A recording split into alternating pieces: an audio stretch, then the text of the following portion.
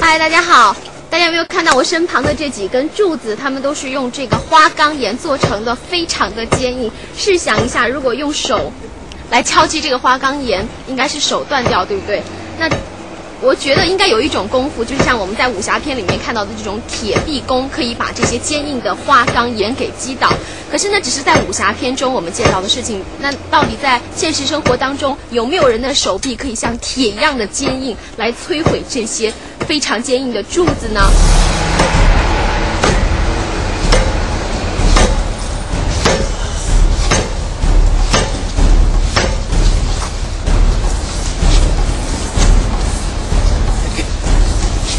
庆开始击柱了，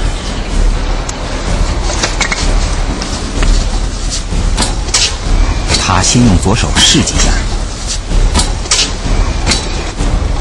开始，一、三，哈哈，柱子已经断了，再来一下，柱子完全断了。这个没固定，没固定，但是这还是断了，还是断了，还是断，没关系。这儿也断了。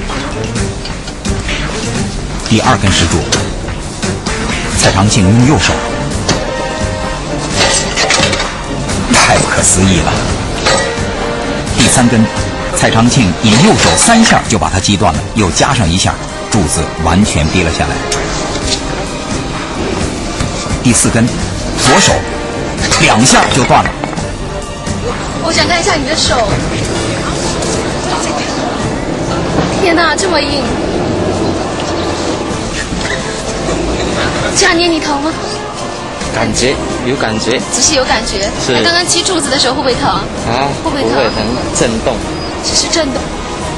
第五根，蔡长庆用右手，干净利落，一下就断。第六根，蔡长庆还是用右手，在他的铁臂之下，八公分的花岗岩石如同一根根脆弱的朽木。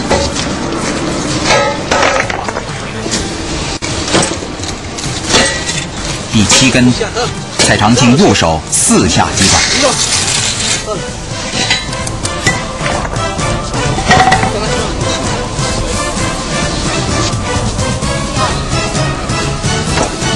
第八根，蔡长庆用左手，这最后的一击让人赏心悦目。